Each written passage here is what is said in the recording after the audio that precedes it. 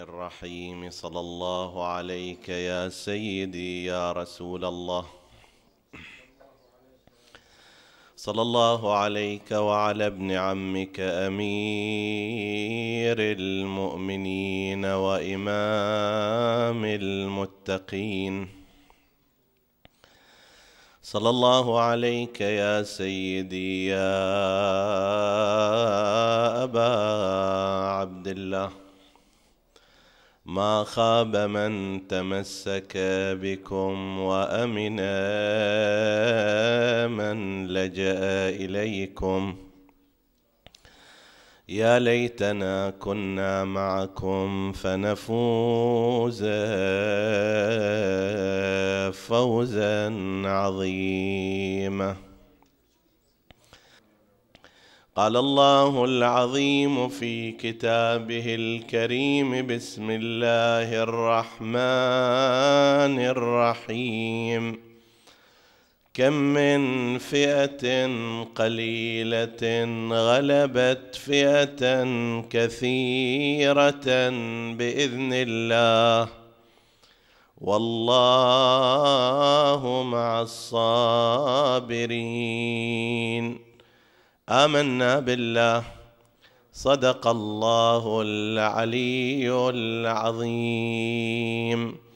عطروا مجالسكم بذكر محمد وآل محمد. اللهم صل على اللهم صل على محمد. اللهم صل على محمد وآل محمد. اللهم صل على محمد وآل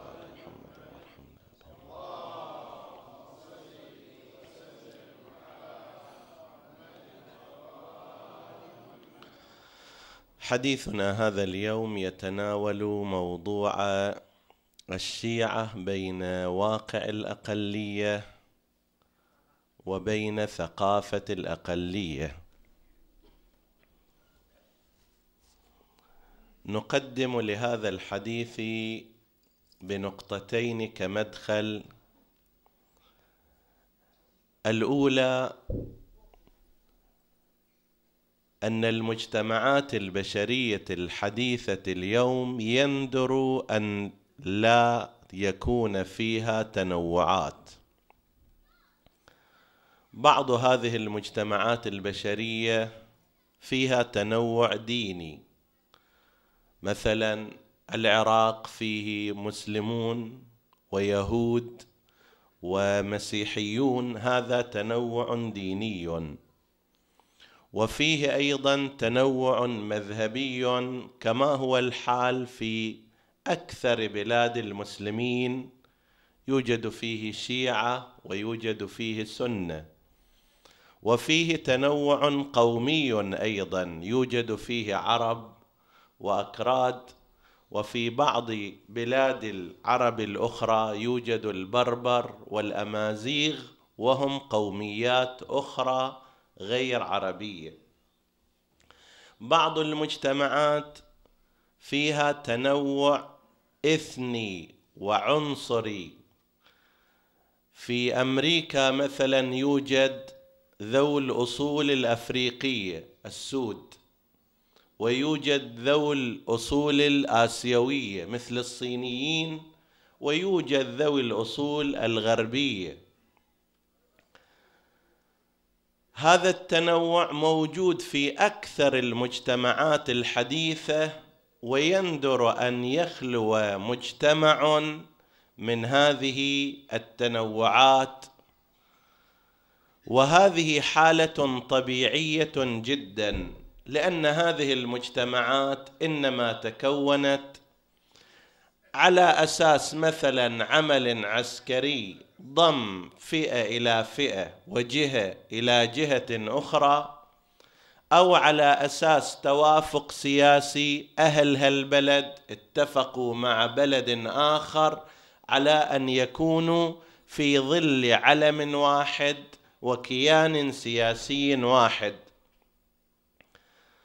وهذه الحالة ليست حالة ناشزة أو شاذة ابدا. بعض هذه التنوعات تكون أكثر وبعضها تكون أقل فينشأ مصطلح الأقلية والأكثرية. بعض البلاد الإسلامية يكون الحجم الكمي للشيعة مثلا أكثر من غيرهم فيكون الشيعة أكثرية عددية بينما غيرهم يكونون أقلية عددية. بعض البلاد الإسلامية الأخرى بالعكس يكون السنة أكثرية عددية وسائر الفرق الدينية أقلية من هذا المعنى. وهذه كما قلنا حالة طبيعية توجد في كل الدنيا في كل العالم ما من مجتمع بشري حديث يخلو من هذه التنوعات. خلي إيدك على أي دولة من هذه الدول سوف تجد فيها تنوع قومي أو تنوع ديني أو تنوع مذهبي أو ما شابه. أي النقطة الأولى؟ أن وجود الأقلية والأكثرية في أي مجتمع من المجتمعات أمر طبيعي ولا محذور فيه. هذا واحد. النقطة الثانية أن القلة ليست منقصة والكثرة ليست مفخرة. إذا بلد من البلدان كان فيه الشيعة أكثرية مثلا هذا ما يعطيهم فخر. وإذا صاروا في بلد آخر أقلية لا يعد نقصا فيهم. لا الاقليه منقصة ولا الاكثريه مفخرة. لا الاكثريه يعني أنهم على حق ولا الاقليه يعني أنهم على باطل. لا الاكثريه أفضل ولا الاقليه أفضل بما هي أقلية وبما هي أكثرية. ولذلك إذا واحد مثلا اجى قال إحنا في بلد أكثرية قل ثم ماذا؟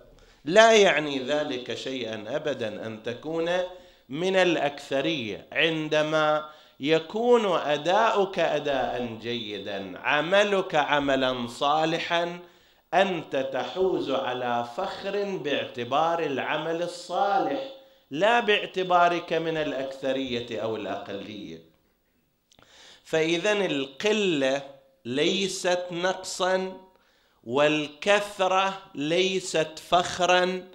إذا انتمى شخص إلى الأكثرية فذلك لا يبرر له أن يتفوق على غيره وأن يتقدم على غيره وأن يشعر بالإفتخار بالنسبة إلى الآخرين.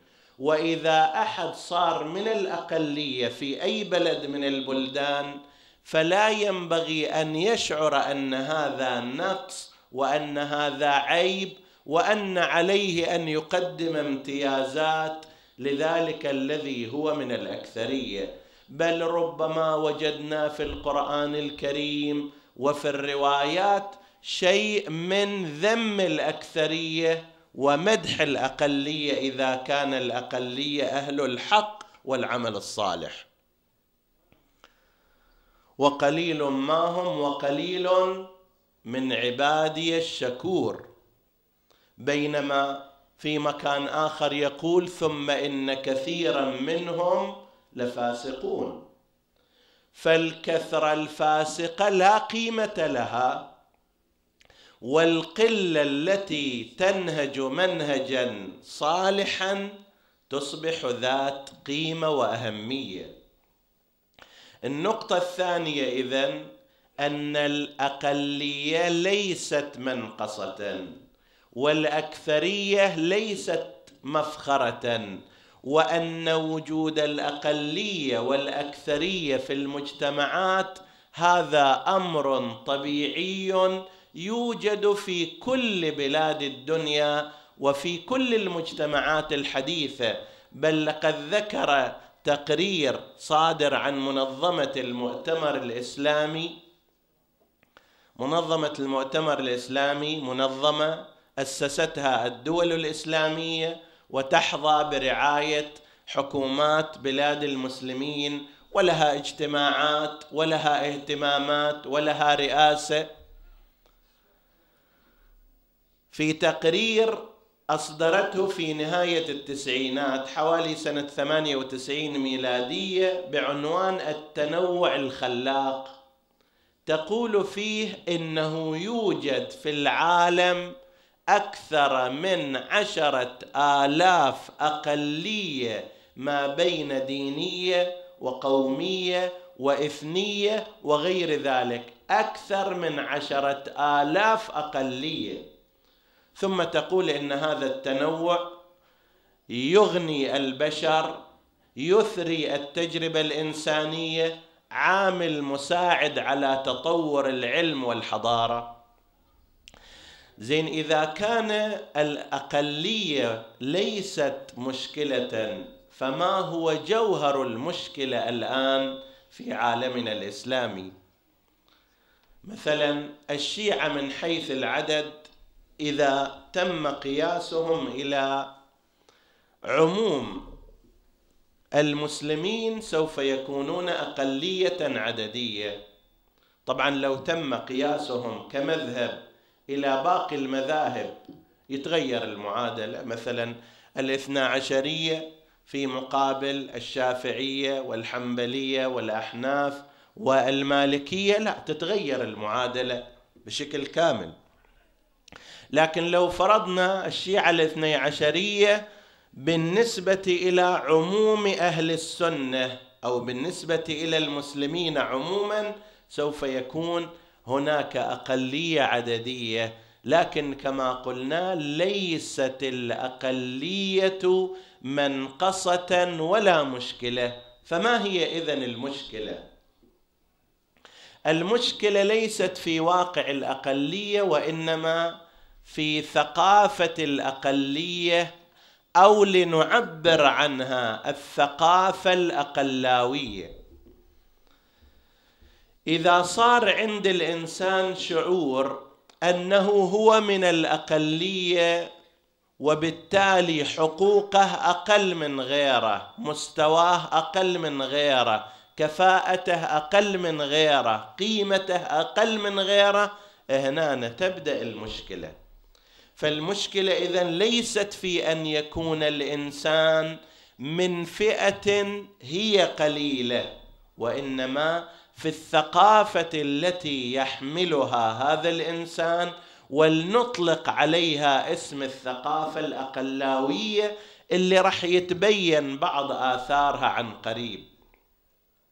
من آثار هذه الثقافة التي نطلق عليها ثقافة الأقلية أو الثقافة الأقلاوية. شعور الإنسان المنتمي لهذه الثقافة بهضم الذات. قسم من الناس افترض مثلا عندما يكون من شيعة أهل البيت عليهم السلام.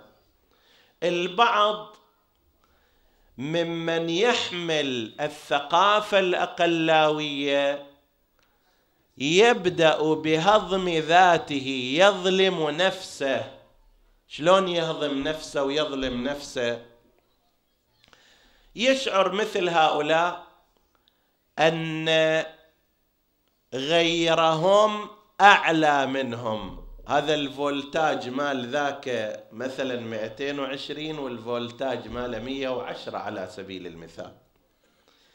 ذاك لازم ياخذ النصيب الأكبر من الحقوق ومن الموارد ومن الكفاءات وهو لو أعطي الفتات ما يخالف لذلك قد تجد بعض الناس اللي يحملون هالثقافة يجي لك مكيف ومرتاح يقول الحمد لله أنا المدير مالي جدا ممتاز من أطيب الناس لماذا؟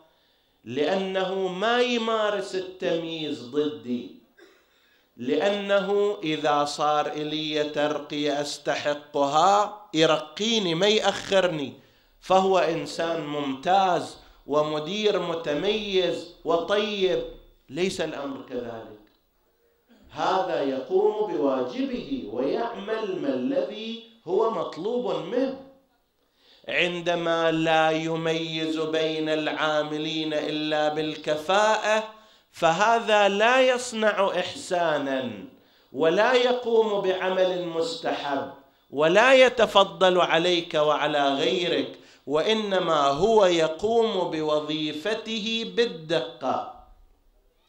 لكن كأن هذا الإنسان المتحدث يصير عنده شعور أنه كأن من الطبيعي أن يصير تمييز ضده كأن من الطبيعي أن ما يعطى حقه. فإذا أعطوه حقه صار هذا شيء ممتاز وصار مكرمة وصار عمل استثنائي يقوم به هذا الإنسان. وهذا كلام غير صحيح. والأدهى من هذا والأنكى في كثير من الأحيان عندما يتأسف بحق إنسان يفصل تعسفا من عمله بمبررات ظالمة. المدير ماله مثلا يتعسف في حقه فيظلمه. قسم من هؤلاء الناس الذين يمتلكون الثقافة الأقلاوية لا يجد في نفسه حماسا للمطالبة بحقه. ما يروح يطالب ما يروح يقاوم ما يشتكي ما يتحرك ما يحتاج لماذا تم هذا الفصل التعسفي لي مع أن الأنظمة والقوانين تحمي مثل هذا الإنسان؟ ما يروح وراء هذا ليش؟ هذا يحمل في داخل الشعور أنه لو انظلم هذا شيء طبيعي. لو انحرم من حقه هذا شيء طبيعي. هذا معنى أن الإنسان صاحب هذه الثقافة يحمل في داخله هضما للذات وظلما للذات وما ظلمناهم ولكن كانوا أنفسهم يظلمون. يظلمون أنفسهم هم نفسهم طيب أغرب من هذا إذا واحد يجي يقول لك مثلا أنا فصلوني من فلان مكان فصل تعسفي ضمن مبررات ظالمة تقول له ليش إذا ما تطالب بحقك في العودة؟ لماذا لا تحتج؟ لماذا لا تشتكي إلى من هو أكبر؟ لماذا لا تستعين بالقانون؟ يقول أنا الحمد لله زين ما عاقبوني فوق هذا بعد.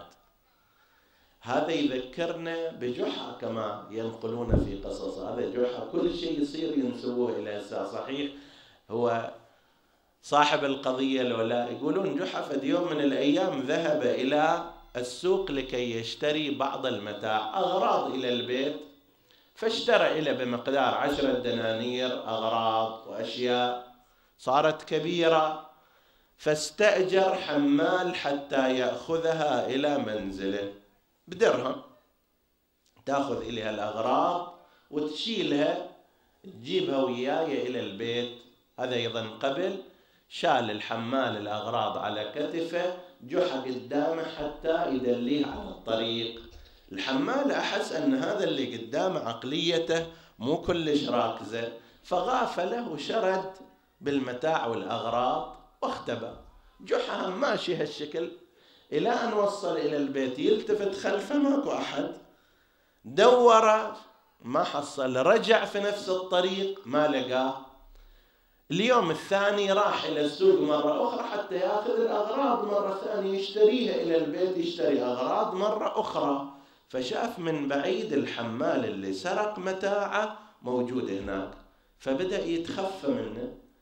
إذا طالع ذاك الحمال هالشكل يختبي وراء الجدار جاء من ذاك الصوب هذا جحا يختفي فسألوه قال له ذاك الحمال اللي سرق متاعك موجود شو تتخفى عنه وتشرد منه أنت؟ قال حتى لا يطالبني بأجرة الحمالة بعد. هذا المثال إحنا نضحك على عقليته بس ترى قسم من الناس حتى لا يطالبني بأجرة الحمالة. يطرد من عمله تعسفا ويحرم من حقوقه ظلما مو بس ما يطالب فيها يحمد ربه ويقبل ايده وجهه قفا كما يقولون لأنه ما عاقبوه عقوبة. هذا صار مثل سالفة الحمال. طيب هذا الشعور هو شعور قسم من الناس الذين يحملون هذه الثقافة الأقلاوية فيهضمون ذواتهم. لا يطالبون بحقوقهم الشخصية فكيف بالحقوق العامة؟ هذا أول أثر من آثار هذه الثقافة الأقلاوية التي نسميها. هذا واحد. الأثر الآخر أن أصحاب هذه الثقافة أصحاب هذا الفكر واللي غالبا ما يكونون من الأقليات العددية ومن الممكن أن الإنسان الشيعي أيضا يبتلى بمثل هذه الثقافة أن صاحب هذه الثقافة الأقلاوية دائما يشعر بأن الآخرين على اختلاف آرائهم قد تكتلوا ضده وقد تجمعوا في وجهه كل الناس ضده. الغرب يراه ضده الشرق ضده باقي المذاهب مشغولين بالمؤامرة عليه ويتصور نفسه وحيد في هذه الدنيا وأن كل البشر من عداه متفقون لمحاربته ومحاربة منهجه. وسوغ إلى فد فذلكة معينة وفلسفة معينة إي نعم إحنا الشيعة من بعد النبي علينا مؤامرة إلى يومنا هذا. من ذاك الوقت صار التأسيس لهذه المؤامرة وإلى الآن نعيش فيها. ويضيف بعضهم يقول لك لا الآن أيضا أكو هناك بروتوكولات حكماء صف صهيون وأكو حكومة العالم الخفية وأكو دوائر تشتغل بس علشان إحنا وضدنا. ابدا ليس الأمر كذلك. هذا العالم كل فئة مشغولة بأمرها وبقضاياها وبتهيئة مصالحها. الفئات الدينية مشغولة بمصلحتها الدينية والفئات الدنيوية مشغولة بمصلحتها الدنيوية وما حد يمك أنت لازم تشتغل من أجل أن تحقق مصلحتك الدينية والدنيوية. لا تتصور أن هناك شيء ثابت يقول لك لا أمريكا مثلا ضدنا إحنا وتشتغل ليل ونهار في وجهنا. إحنا المسلمين مثلا أمريكا ضدنا إحنا الشيعة فلان جهة ضدنا ومشغولين بهذا الأمر. هذا العالم أيها الإخوة عالم المصالح واحيانا المصلحة الدنيوية قد تقرب بين المختلفين وتجعلهم متحالفين. جيب لك مثال. الغرب مسيحي. أمريكا مسيحيون صحيح؟ والصرب في صربيا مسيحيون أيضا. دخل الأمريكان ومعهم الغربيون حربا عنيفة جدا ضد المسيحيين الصرب وساعدت تلك الحرب على إقامة بلد ودولة للمسلمين هي البوسنة والهرسك الآن بلد مسلم أكثرية مسلمة فيه حكومته من المسلمين منتخبة في البوسنة والهرسك. هذه ما صارت إلا بعد أن دخل الأمريكيون والغربيون المسيحيون معركة وحربا طاحنة مع المسيحيين الصرب. دكوا صربيا دكا بالطائرات. وتعقبوا جنودهم وهزموهم وكان على أثر ذلك أنه صارت هالبلد المسلم في البوسنة والهرسك. ترى الغرب والأمريكان يعني يحبون أن تقوم دولة مسلمة. هناك كلا مصلحتهم التقت في هذه النقطة. كانوا يريدون أن يحجموا المسيحيين الصرب ويوقفوهم عند حدهم. هذا أدى إلى فائدة المسلمين. وين الغرب اللي يشتغل ضد الإسلام؟ وهو المؤامرة يصوغها بشكل مستمر. لا اجتمعت مصلحته هنا فصنع بلدا مسلما. في أفغانستان قبل عشرين سنة اجتمعت مصلحة الأمريكيين مع الفئات الدينية المتعصبة والمتطرفة اللي هي لما اختلفت مصلحتهم فيما بعد بدأت الحرب بينهما. هم سلحوهم في البداية أعانوهم في البداية نصروهم في البداية لأن المصلحة كانت هناك مشتركة. لما اختلفت المصلحة بدأت الحرب بينهم. قسم من هؤلاء الناس عندهم شعور دائم بأنه إحنا الآخرون ضدنا. الغرب ضدنا الشرق ضدنا باقي المذاهب الإسلامية ضدنا الأنظمة السياسية في وجهنا الكل يتآمر علينا. هذا كلام غير صحيح. لا شك أن هناك فئات تعاديك لكن الدنيا ليست هكذا. ماكو هناك جهة شغلها بس تتآمر عليك.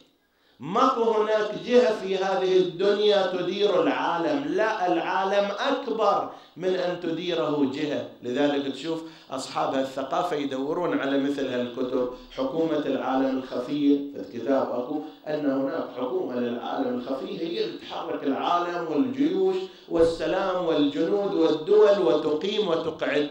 أو كتاب آخر أحجار على رقعة الشطرنج. أنه العالم والرؤساء والدول مثل أحجار الشطرنج واحد أو جماعة يحركوها أو أن الصهيونية هي التي تدير العالم. ليس الأمر كذلك. كلا القرآن يقول كلا نمد هؤلاء وهؤلاء من عطاء ربك وما كان عطاء ربك محظورا. ذولاك أمسكوا بقواعد القوة العلم والتنمية والتقنية. تمكنوا في أماكن كثيرة. أنت أيضا إذا أمسكت بقواعد القوة أيضا تتمكن في منطقتك ومجتمعك وأمتك. من آثار هذه الثقافة أيضا لما الإنسان يشعر أن الآخرين كلهم ضده دائما يشعر بالخوف من الآخرين والغربه عنهم والابتعاد دائما في ذهنه الباقين ضده. يابا في المذاهب الإسلامية أكو هناك فئات كثيرة تحب التعارف والتعاون والتواصل تستطيع أن تتفهمك أن تتعرف إليك أن تتواصل معك. لا هذا يخلي لك عنوان كامل الكل ضدنا خلاص. لما يقول الكل ضدنا دائما يشعر بالخوف دائما يشعر بالتوجس دائما يشعر بالترقب دائما هو غير مقبل على أن يتعاطى وأن يتفاعل. ولذلك حياته أيضا ليست حياة مسترخية وإنما حياة ترقب وتوجس وما شابه ذلك. هذه بعض الآثار التي تنتجها الثقافة الأقلاوية. هناك آثار أخرى لا نريد التعرض إليها. كيف يستطيع المجتمع الذي يعاني من كونه أقلية عددية؟ شلون يقدر يخرج من هذه الحالة إلى حالة أكبر؟ شلون يقدر ينطلق؟ التشيع والشيعة كما ذكرنا فد أقلية من حيث العدد. هل عندهم طريق يستطيعون من خلاله أن يمارسوا دورا على مستوى العالم الإسلامي بل العالم كله يتجاوز حجمهم العددي أو ما يقدرون؟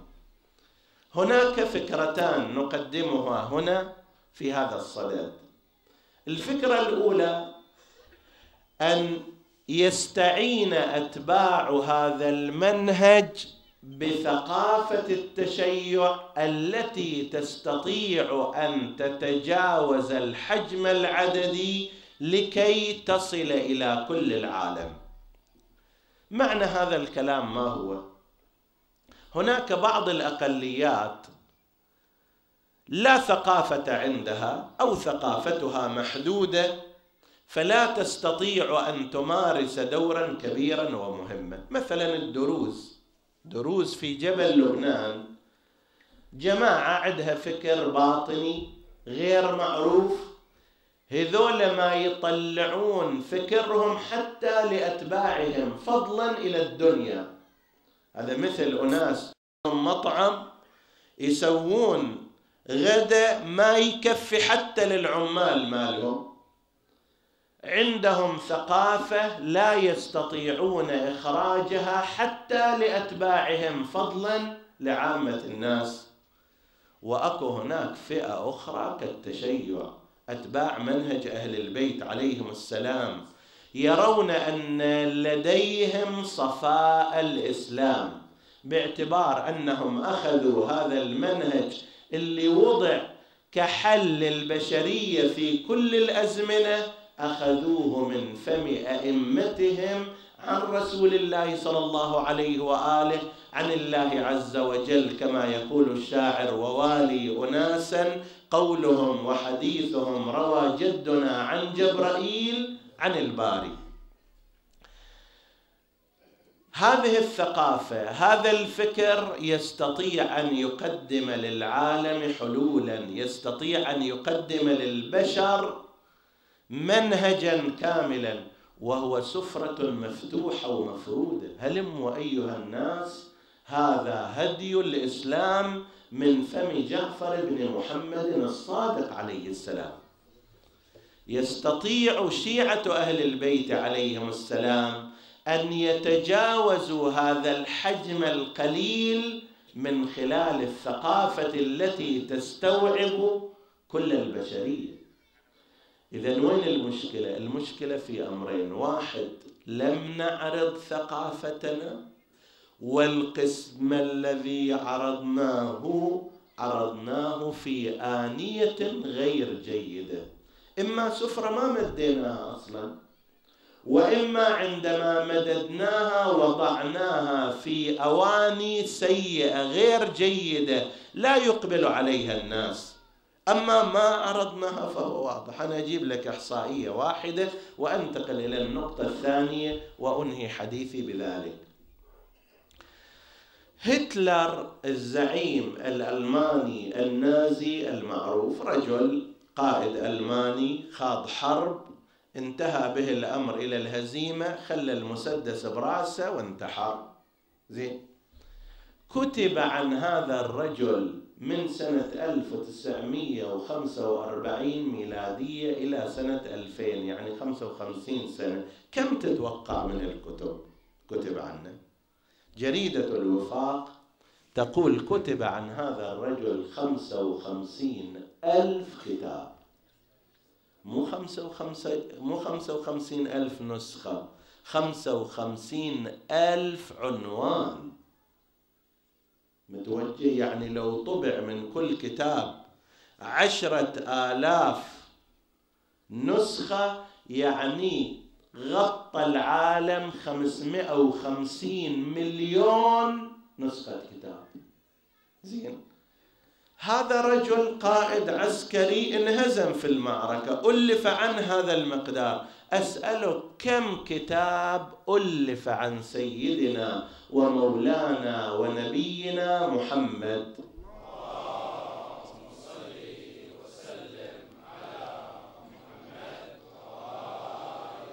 أنا عادة أنبه على هالمسألة. عندي شيء من الاعتراض. الصلوات لازم تجي صلوات قوية بحجم الحضور وبحجم ولائهم لرسول الله وآل رسول الله.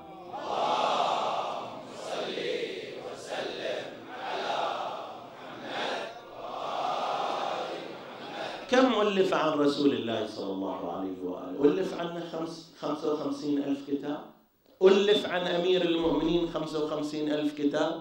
ألف عن الحسن خمسة وخمسين ألف كتاب. عن الحسين لا عن الإسلام في عقائده عباداته أصوله فقهه أحكامه دساتيره. ألف هذا المبلغ؟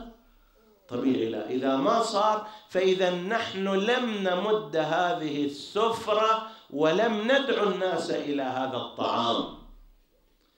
أول أمر يمكن لهذه الأقليات أن تقوم به هو أنها تستعين بثقافتها وفكرها الذي يتجاوز حدودها وحجمها وتنطلق إلى العالم من خلال الفكر. أيها العالم لدينا غذاء روحي يا أيها العالم الذي تعاني من المشاكل الروحية. لدينا دستور أخلاقي لدينا دستور لبناء الأسرة والمجتمع لدينا نظام لقيادة الدولة لدينا نظام لحقوق الإنسان. هذا أول شيء.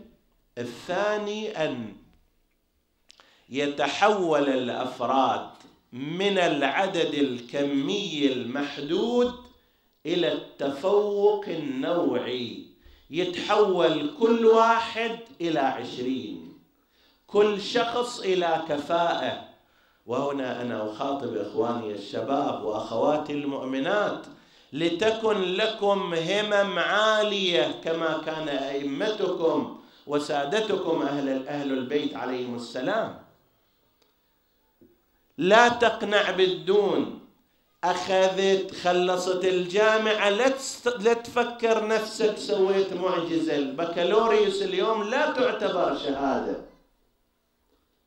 بكالوريوس اليوم لا تعتبر شهادة. لازم تفكر من الدكتوراه واطلع لفوق. التاجر عندما يفكر لا يفكر بمئات الألوف لازم يفكر بمئات الملايين حتى يصنع لأمته ولمجتمعه مستوى اقتصاديا عاليا. المهندس لازم يفكر على مستوى عالي وهكذا إن يكن منكم عشرون صابرون يغلبوا مئتين يعني واحد يساوي عشرين شخص في أدائه وقوته وعلمه ومعرفته. تعال قيم نفسك أنت هل تساوي عشرين شخصا لو لا؟ إذا كان ليس كذلك لازم تحاول أن تغير ذاتك حتى تصبح بكفاءة عشرين شخص. علمك بمقدار عشرين شخص عملك بمقدار عشرين شخص اقتصادك بمقدار عشرين شخص بهكذا تفوقت مجتمعات. أنا أنقل لكم إحصائية واحدة وفيها الكفاية. في الولايات المتحدة كما ذكرنا هناك تنوعات مختلفة. من جملتهم ذوي الأصول الصينية ذوي الأصول الآسيوية صينيون وما شابه. هذول كبارهم ورؤسائهم فكروا في بداية الأمر أنه إحنا نسبتنا العددية في المجتمع الأمريكي قليلة 2% فقط 2% إذا كنا 2% حقوقنا راح تروح ما عندنا قوة ما عندنا شخصية ما عندنا شيء اللي نقدر نحتمي به. ماذا نصنع؟ قالوا لابد أن نتفوق في الجانب العلمي. نتفوق في الجانب العلمي. فبذلوا جهدهم في هذا المجال. دراسات العالية الواحد منهم صار ما يكتفي بأن يتخرج من الجامعة. لازم يصعد إلى أن يوصل إلى آخر شيء السقف اللي يقدر يوصل إليه طيب. إحنا الحمد لله واحد إذا حصل الثانوية يقول خريج الثانوية هي هاي الثانوية تحتاج إلى خريج. طيب. ففكروا في هذا الأمر أنه لابد أن يسعوا في التفوق العلمي ووضعوا خطط في هذا المجال وشجعوا أبنائهم وبذلوا الأموال وغير ذلك اليوم في الولايات المتحدة يذكرون هالإحصائية يقولون عشرين في المئة من مراكز البحث العلمي وأساتذة الجامعات في التعليم العالي ومراكز البحوث العالية من هذه الفئة. كبار الأطباء منهم عشرين في المئة.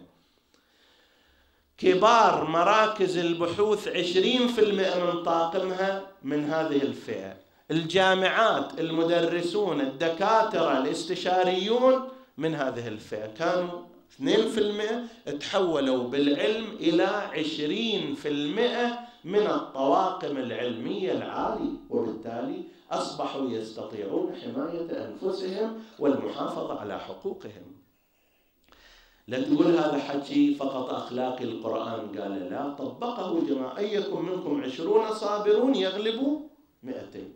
واحد يساوي عشرين. هذول كانوا اثنين في المئة صاروا عشرين في المئة.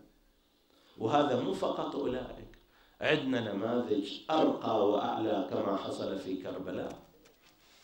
كربلاء إيش قد عدد الشهداء من صف الحسين عليه السلام؟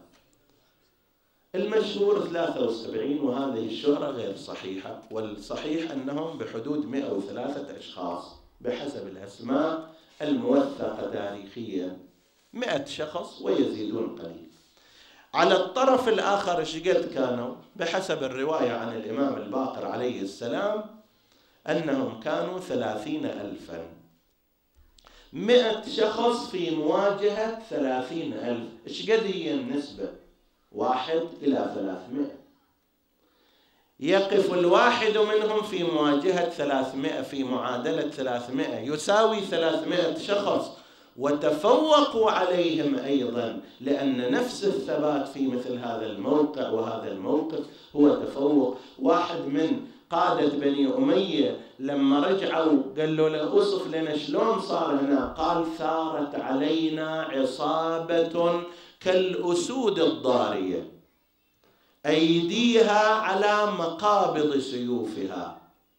لا ترضى بالدنية ولا الموت فلو غفلنا عن تحطم الفرسان يمينا وشمالا فلو غفلنا عنهم لأبادوا العسكر بكامل.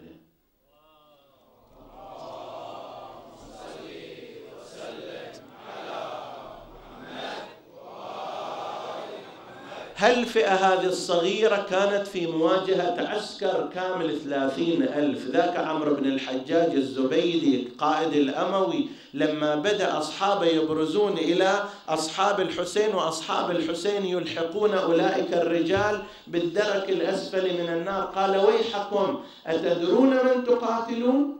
تدرون أنتم إلمن بارزين؟ تقاتلون فرسان المصر. وأصحاب البصائر وقوما مستميتين. ثلاث عناصر ذكرها. جانب القوة النفسية والمعنوية قوم مستميتين. جانب الوعي والبصيرة والمعرفة أصحاب البصائر. وجانب الأداء والقوة فرسان المصر. لا تطلعوا لهم هذول يفنوكم عن آخركم. كانت هذه التجربة واحد في مقابل ثلاثمائة شخص. وكان في طليعة كل هؤلاء سيدهم ومولاهم أبو عبد الله الحسين سلام الله عليه. إذا كان يقف واحد يقول فما رأيت مكثورا قط. مكثور واحد في النص والمعسكر كله داير عليه. فما رأيت مكثورا أربط منه جأشا ولا أمضى منه جنان واحد في مقابل ثلاثين ألف بكمالهم وتمامهم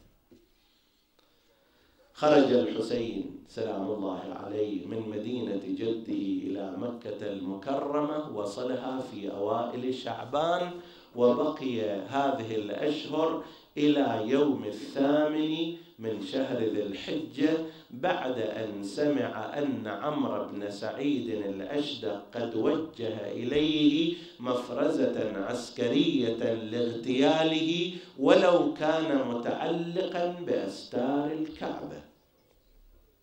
البيت ما له حرمة عند هؤلاء. مثل ما هذول التفجيريين والتكفيريين في هذا الزمان ما عندهم حرمة إلى مسجد ولا بيت ولا غير ذلك. وهذا اللي جر بعض الحثالات البشرية لكي يتعدوا على شخصية قدس رسول الله صلى الله عليه وآله. لما شافوا المسلمين ما يحترمون المسجد أو بعض المسلمين لا يحترمون المسجد ولا بيت الله ولا مصليا اتجرأوا حتى على قدس رسول الله صلى الله عليه وآله.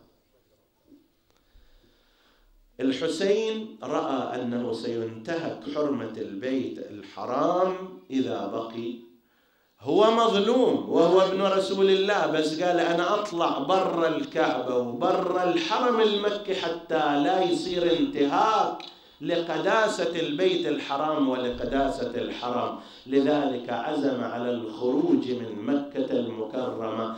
شاع خبر خروج الحسين بين الناس فغلبت حالة من الكآبة والأسى والحزن على كل من سمع. عجيب الحسين يخرج في هذه الصحراء لا يدري لم يدري أين يريح بدن ركابه فكأنما المأوى عليه محرم. يسمع الخبر محمد بن الحنفية فيبكي بكاء عاليا حتى تساقطت دموعه وسط الإناء الذي كان يتوضأ فيه. يسمع ابن عباس يجي إلى الحسين أبا عبد الله أذاهب أنت إلى العراق؟ قال بلى. قال ذاهب وأنت تعلم ما الذي فعلوا بأبيك وبأخيك الحسن. قال بلى أنا ماض لأمر أمرني به. ربي وجدي رسول الله صلى الله عليه وآله. أنا وراي مسؤولية. قال شاء الله أن يراني قتيلا. قال أنت تذهب تروح تقتل في سبيل الله. ما حملك هذه النسوة؟ عندك نساء عندك حرم عندك أطفال لماذا تخرج معهن؟ قال شاء الله أن يراهن سبايا. بدأ ابن عباس يحاول أن يثني الحسين عن رأيه. خليهم هنا ناخذهم من مكة إلى المدينة. لا تخرجهم معاك. زينب من وراء الباب تسمع. فصاحت بأعلى صوتها يا ابن عباس ما لك ولنا دعنا مع الحسين. نحيا بحياته ونموت بمماته. لا نريد أحدا غيره. ولا حد يشور على والينا يخلينا ويشي. ما نطيق فراق أخونا ولا نحب غيره. كان خايف يذبحونا وننسى بسبي العبيد. روحنا من روح أخونا يا وعن قضى الله ما نحيد. وبصدرها انكسرت العبرة وحكت ويا الشهيد. صاح يا الوديعة من علي حامد دخيل والفراق يصير يا زينب بوادي كربلاء جثتي تبقى يا زينب.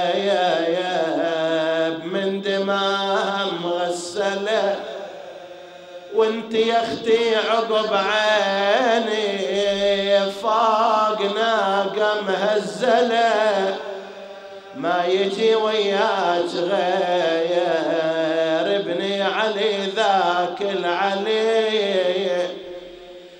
إذا زينب عزمت على الرحيل. الآن تودع عبد الله بن جعفر زوجها اللي اجى يودع الحسين عليه السلام وإحنا أيضا ويا عبد الله بن جعفر نودع الحسين. في أمان الله يشام مامة الهادي ومهجته. تروح وانت الحج الأكبر.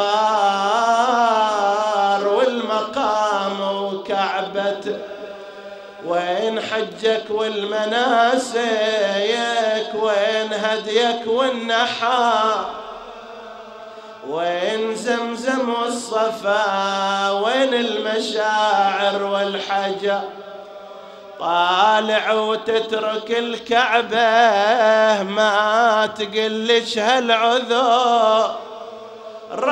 راد يتكلم أبو سكنة وهل دمعته والسنة عيدي وحجي يتعين بأرض الطفول أرد أضحي بهالصناديد الذي حولي هذا جسمه مقطعينه ياه وذاك مقطوع الجفو. هذا ما يحظى بساعة بين عرسه وذبحه. لا تشوف شلون هرويل من يناديني شباب. أبتدي بالتلبية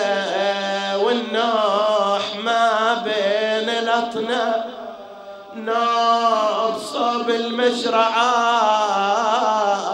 وانظر قمر عدنان غاب وسط المعركة. للولد أرفع جثة. نسألك اللهم وندعوك باسمك العظيم الأعظم الأعز الأجل الأكرم. إلى أرواح أمواتهم وأموات المؤمنين والحاضرين. نهدي ثواب الفاتحة تسبقها الصلوات.